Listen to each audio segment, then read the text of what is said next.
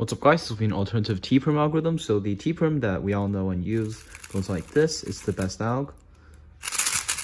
However, there is an alternative alg and it's almost just as fast and might be faster for some people. And just the inverse and flows pretty well. Although doing this is a little bit faster, you should try this out and see which one is truly faster for you. So you do F, R, U prime, R prime, U.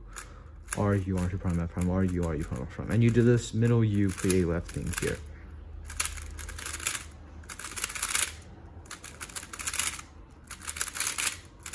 So, yeah.